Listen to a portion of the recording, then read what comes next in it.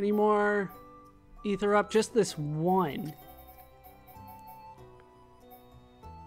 So we can put those together. And we have 8428. 105. Is there anything else that we got? 102. 112. Ooh, 98. To 116. I'll take it. 116. It's not necessarily the best. I didn't look around as much as I probably needed to, but honestly, at this point, I need more gems than I do uh, the actual number. The quality is not necessarily as important as quantity for me right now. Yeah, I don't really care about the art seal resist, so let's go with the physical defense down. And we lost the other one, but that's okay. 27. Not not as high as I was hoping for, but you know what? We can make that work. We can make that work. All right, so next one, Ether defense up. Uh, I think I have enough of those. I don't need more of those. The defense, just not my favorite. Agility up, that is going to be something that I still care quite a bit about. Uh, hopefully we can get higher than 129. Does not look like it. There's doesn't doesn't seem to be a lot going on out here. All right, so I can add these two together. And then we'll just stick with that. 112, though. Mm.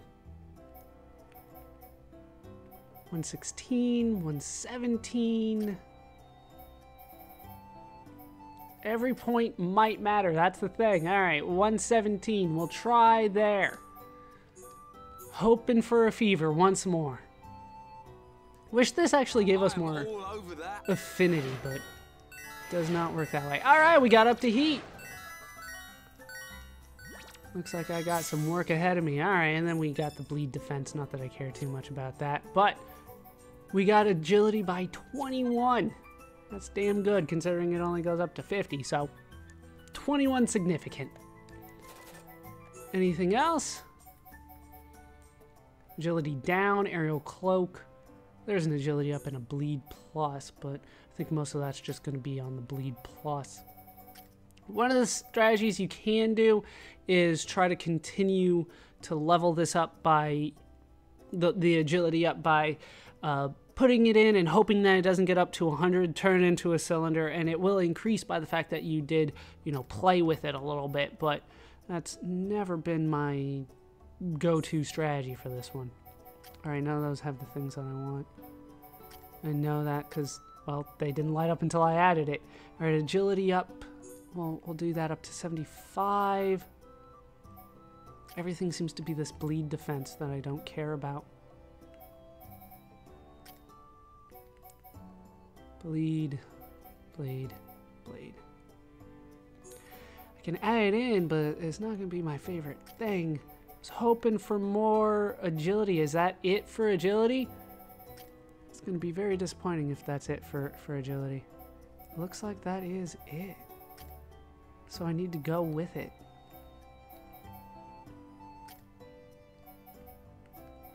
Yeah, that is it. All right, we'll level up uh, bleed defense there. And we'll go with that. You know, one of the things you can do, as long as you have two, two uh, crystals of the same thing. Even if they don't get up to 100, you can use that and try to get the agility up that way. Fortunately, this is it for me for agility up, and I just kind of want one more gem. That's kind of the goal here. So as long as I can get that up to 100, I'll be happy. There we go. Finally, at the end, we got it. We got all the gems there. We even got heat on the bleed defense. Not that it matters too much for me, but we got bleed plus that could be useful. I think I have a character that makes things blade. And then agility by 14 there. All right, I think we're close to done here. I don't think there were too many more gems that I cared about here. Uh, aerial cloak, bleed plus, the agility down, just not my favorite. Muscle up can be useful. It can be. But it's not necessarily my favorite. Yeah, I don't think there was anything else that really stood out as something that I wanted to care about other than maybe the ether. But uh, we've kind of gone down that road before, haven't we? So I don't think there was anything else. That is all the Oh, we got an achievement. All the crafting that I wanted to take care of today. So let's take a look at the achievement that I got. Received a synergy bonus more than 500 times. That is the max for that one. So even by the game standard, I've, I've done quite a bit of gem crafting, even though it doesn't necessarily feel like I have. All right, so our next step is to look in the Collectopaedia and to see what I have done here uh, on the last one.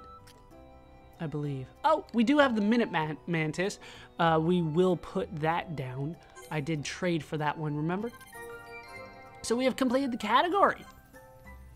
Gotten ourselves an AP up 5 as a result. Talk about good gems.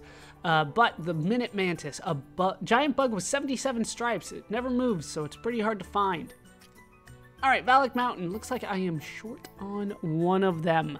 That could be an issue. We'll have to see. But We'll start with the sour radish uh, that we only need one of, and it's not particularly good as a gift. And I have 11 of them if you are short on them um, from Zokhed Pass, just go to the right. That's probably the best place. If you're really struggling, check the wiki, but uh, well, I have 11 and I only needed one, so chances are you're not struggling with this particular one. Sour radish. The sour taste will give you a kick, often used in alternative medicine. We have ice cabbage. I need uh, three of these. I believe I already turned that in though, so we're gonna go ahead and drop this one down. Uh, these can be found at night only in the Antol Den. That's my advice for you there. But once again, with well, with pretty much everything in Valak Mountain, if you're struggling with it, uh, I would recommend checking the wiki. They have very specific locations on where you can find these, uh, but I'm just kind of giving an overview as to where it is. But I believe I turned these in, so we're good to go. I believe this was for Colony 6 reconstruction. Ice cabbage only grows in cold places. It looks spicy, but actually it's not. Spicy cabbage? Okay, why not? Then we have a girl courgette, or courgette. You only need one of these. I have 13. I recommend Nagul Waterfall for this one. But apparently they're not hard to find. A cute red cord, I think it's courgette. Uh, sweet and succulent. Could be courgette though. But there you go, not too much there. Uh, then we have an amethyst vanilla. I only need one of these. I have 14. I recommend Zokhed Pass for this one. But once again, these are not the difficult ones to find. Let's go ahead and drop that down. And we've completed the category, earning ourselves heavy boots. It's the name of a song that I like. A strongly sour veg to warm you up. Available in cold lands. Tastes okay. Honestly, if it's vanilla and it just tastes okay, then it's not very good. All right, now, the Ether Plum, remember that I said there was something special about this one. I only need one uh, for this, but I want another one for uh, the achievement. I have 11, so I have plenty. If you're looking for this one, though, I recommend Ignia Hill. But uh, I, I didn't struggle getting this one. Uh, there is an achievement with this one that I will show on screen, because why not? But the ether plum can be dropped. A satisfyingly sweet plum that is popular with the ladies. Then we have a fire apple. Uh, you only need one of these. These are a really good gift for Sharla. So you're going to want to hold on to these. If you're struggling to find them, I recommend Ignia Hill, but once again, check the wiki if you're struggling. Let's drop that down. Looks like an ordinary apple, but one bite and you'll be spouting flames. We have the Ruby Mangosteen. Let's go ahead and drop that one down. Sure. Uh, you only need, uh, well, no, you need three of them. I have eight. Uh, did I turn in this one already? Probably not. But uh, we have as many as I'm going to need definitely. Uh, not a particularly good gift to anybody, but if you're struggling to find these, Ignia Hill is probably your best spot for it. A fruit that sparkles like a jewel, outshines other fruits in tang tanginess. tanginess, tanginess. Uh, then we have a sour grape. Speaking of tangy, uh, you only need one of these. I have nine. I recommend Antol Den for this one. Not particularly good as a gift either. Uh, so let's go ahead and drop that down, completing the category, earning ourselves Chill Defense 3. I mean, I guess it makes sense. We are in Valak Mountain at this point, but a little weird. Only level 3, too. Sour Grape. An astringency results from chewing. Ferment for a wonderful, wonderful fragrance. Sure. All right, then we have the Fortune Mallow. You only need one of these. I have 13. I spent a lot of time in Valak Mountain. We're not even done there yet. Um, I recommend the Apis Lair if you're struggling to find these. Not particularly good as a gift, so let's plop it down. Popular with women and children. Some find it too beautiful to behold. And I have so many of them. Then we have the Black Peony.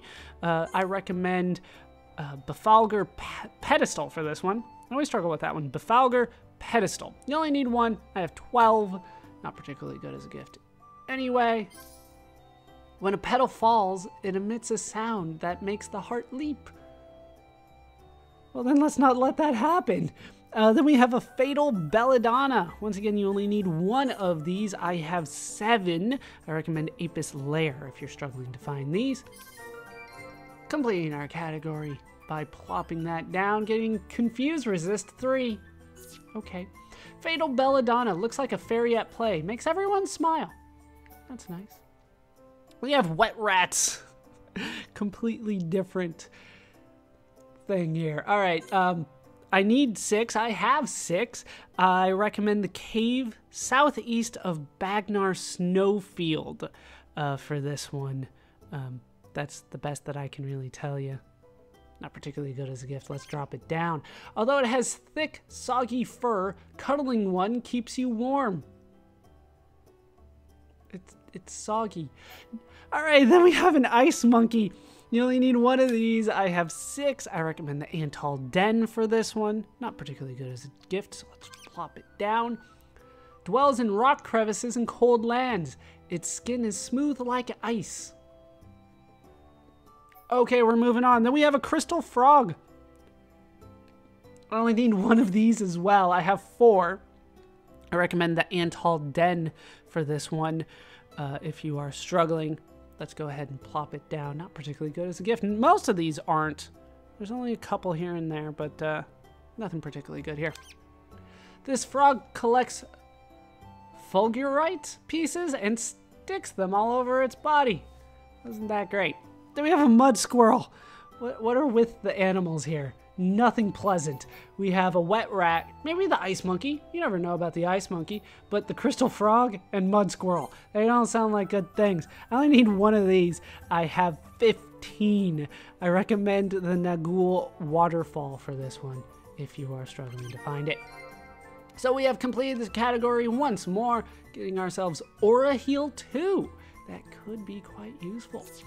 Mud Squirrel secretes a protective oil on its skin a great little swimmer. Unfortunately, I am missing one of the items here. It looks like it was something that only shows up at night, uh, which might have been my issue with it. I only need one though, so I'll just go around until I find one off screen. For the time being though, we have a black ash. Uh, I need one of these. I have nine. Uh, once again, night only on the black ash. I would recommend west of Ignia Hill for this one textured stone made up of lumps of charcoal. All right, then we have emerald snow. Luckily, that's green right there. Uh, you only need one of these. I have four, so let's plop this one down as well. I recommend Nagul Waterfall for this one. Green snow made of wind-scattered leaves accumulated over time. That could be pretty. Depends. Could also be very ugly. Depends. Uh, then we have a rabbit stone. I recommend the Antol Den for this one. You only need one. I have 10. I have so many of these right now. So let's plop that down. No, nothing particularly good as a gift right here. A red gemstone, the color of a rabbit's eye. I've never actually looked closely enough at a rabbit's eye to tell you the color of it, but if you say so. Then we have a broom icicle. I need three of these. I only have the one. I don't think I've turned this one in, so I might have to uh, run around to find some of these. I'm going to go ahead and put this one down, though. Not particularly good as a gift either. Finally branched like a broom. It's useless for sweeping, though. Why would you try? Then we have a frost glass. I need three of these. I believe I've turned it in already. I have four anyway. Uh, so we're going to go ahead and put this one down. I recommend the entrance of Valak Peak uh, for this one. I don't think we've actually been there. I also recommend that for the Broom Icicle. Apparently I was close by since I got so many of these. Frostglass. Shulk was shivering as he named it. No one knows if it's ice or glass. It's real easy to test that kind of thing, you know, just leave Valak Mountain and see if it melts. Then we have large handcuffs. Always a favorite. We only need one. I have one. I recommend the Antol Den for this one. Let's go ahead and put it down. And we've completed the category. Get chill plus three. I already have number five, so not necessarily my favorite, but I'll take it. Large handcuffs. Didn't take Reyn long to name these. Big green rings made of monster fur. Oh, they're furry handcuffs, are they, Reyn? You named them, huh? Do you have something on the mind? All right, so I need to go out and collect a gypsum branch. Um, so I'm going to go ahead and look for that one off screen. I will meet you when that is done. Ran around for about 10 minutes and was able to find something here. Uh, I said that I recommended the cave southeast of the uh, Bagnar snowfield, but I found it outside. Uh, it's way over here for me. I was just kind of roaming around. It, I took two laps around uh, before I was able to find one here. Uh, but I did get the gypsum branch that I was looking for, so let's put that in our Collectopaedia. Then we can start taking care of other things. There's the gypsum branch. I have the one. Uh, that is all that I need with it. It's not uh, particularly good as a gift either, but what I care about right now is completing this page. So we have completed the category for nature, and we get ourselves heavy gear as a result, but we have completed the area, which is probably much more important, and we have earned ourselves a Cerasus Cutlass. We'll see if that is good. Sounds like it's for Dunban. And we have a Gypsum Branch. A branch from the ice tree sends a beam of light into the sky at night. Very nice. Now it's in a book. Uh, I believe that is everything up to this point. Well, except for Bios's interior. But like I said, we can't do anything there. Uh, we could probably still do a little bit more with the other, but uh, we're putting that off for the time being. So, we are pretty damn good there. Uh, I did want to show off, uh, well, one thing before I start going really deep into uh, the gifting that I'm about to do. Remember, there's Still a lot of affinity that I need. Oh, there it is. 666 to 777. It's better than a lot of the other stuff that he's got around there. Anyway, uh, what I wanted to do is find the ether plum that I picked up. There's one. And I want to actually give this to Dunban. So we're going to have uh, do it because Sharla and Dunban get along quite nicely uh, simply because most of the time that I have Dunban in the party, Sharla's there healing him. Uh, so they can afford this, so to speak. Uh, so let's find Dunban here. We're going to go ahead and give him an Ether Plum. Yeah, he really does not like that. He does not like that one bit. And in fact, you get an achievement for giving something that he does not like thanks but no thanks has been earned. Give gave Dunban a gift he truly hated. So there's that. So we got that done.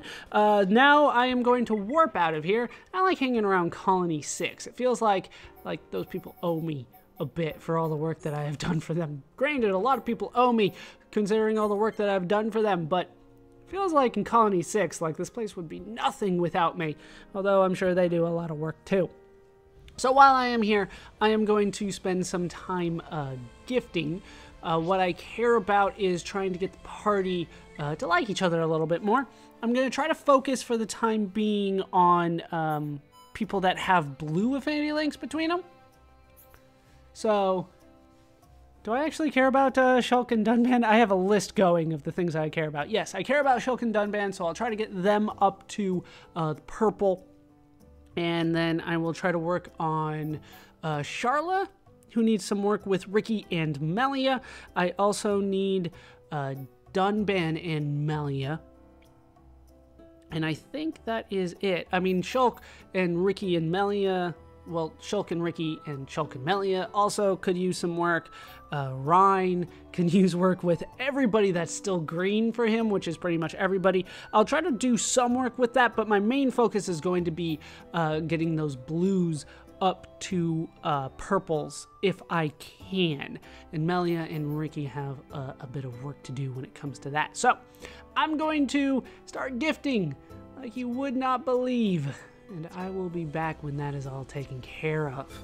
So I have been trading. As a result, I got Master Tradesman, traded 100 times. Looks like that is going to be it for the amount of trades that I needed for the achievement. I was doing it with uh, Shura here, who at night uh, will give us uh, blue chains, which are really, really nice for Shulk, and they're relatively cheap, so I highly recommend trading what you can with Shura. I'm going to get back to it, though. Alright, I have spent a considerable amount of time off screen trading for things and gifting things. Uh, so let's take a look at what I have accomplished as a result of that, and then I'll go over uh, how I actually did it. So, I Still have more work to do, don't get me wrong, but I did get Shulk and Dunban up to purple. I got uh, Riki and Sharla up to purple. I got Sharla and Melia up to purple. Uh, even though there's a blue between Sharla and Dunban, it's not important for me to change that all just yet. And I got Dunban and Melia up to purple as well. I will continue doing this off screen, but what I have done is I have given Shulk uh, blue chains. Uh, Shura trades for those. You saw her in the southern part of the commercial district at night. I will uh, probably continue trading for that kind of stuff since it is relatively cheap and it is the best thing for Shulk in the game in terms of a gift. Uh, Sharla, I gave what uh, sour gooseberries I had left. Uh, for Riki, there were a couple things I traded for uh, him. I gave him what moth crawlers I had left. Unfortunately, you can't trade for those. But uh, I did trade for rubber mantises. That is a trade that Nopo gives away on the farm in Colony 6. For me, he's only there uh, between 4 and 12 uh, a.m. So that's how I got them. And I also uh, traded for soft sea cucumbers from Cherry, who's at the Pollen Orb storehouse during the day. Over on uh, Melia, I gave her what Dober corgis I had left, but uh, if you trade with Gorman, it's an overtrade with him, but it's quite expensive. So I found a different trade that I liked, which was a Chimera Rabbit. Barry Jamie trades for that back in Colony 6, so that is what I used for her. And that is what I did to get all of this done. You might notice we're back in Eryth Sea. Uh, I thought that we had unlocked the island, but indeed we had not unlocked it yet. I have an island to go to. It's right there. Uh, this is the Searath Lighthouse uh, Island. I believe this is Hovering Reef 4. Indeed it is. You can see there's a heart-to-heart -heart there. That is where we are headed. Uh, there is a reason for me to go back there later, uh, but I don't believe I want to do it just yet. Uh, but as long as it doesn't start raining, we'll be fine. This is the final uh, green heart-to-heart -heart that is available to us, so I want to go out of my way in order to get it done. Uh, there are no blue heart-to-hearts, blue affinity heart-to-hearts. There is a green one that is left for us to take care of, so I want to head for it. There's lots of purples that are available to us. I don't think we've done any purples yet in terms of the heart-to-hearts. We'll start doing that now, uh, and then I will continue uh, with the uh, with the gifting and trading off screen, and we'll see if I can't get other people up to purple. I do want to spend at least some time doing that and, and trying to get the heart to heart. Uh, the earlier the better, obviously, uh, because affinity does affect a lot of things, including how we act in battle. And I'm not necessarily as high of a level as I was hoping to be at this point, so every uh, little thing that can help would be appreciated. All right, almost to the island. Here we can find, eventually, are, are you not? There we go. Sleeping Dragon Isle. Uh, there is a gigantic monster here by the name of Carbon Tood. Uh, I'm going to avoid him. Does he aggro? He does aggro. He's based on sound, which is not good. I have to think where the heart-to-heart -heart is around here. It says like it's right here. Uh, there's also a Recti Lexos, but he's not nearly as scary. Um, shit. You're coming this way, aren't you? Ugh. There's also some uh, Grady's out there that I've been avoiding. Hopefully changing the time tonight gets him to go away. Nope. Still, still just hanging out there. All right. Well, like I said, there's a heart-to-heart -heart here that I want to take advantage of. Um, shit. No! Swim for it! He doesn't know how to swim. I don't I don't understand the logic behind it either. But that is the case. I was running a little bit too fast. Can't go too fast here. So, like I said, there is a heart to heart. I want to take advantage of it. I'm going to have to drop a save and kind of hope for the best.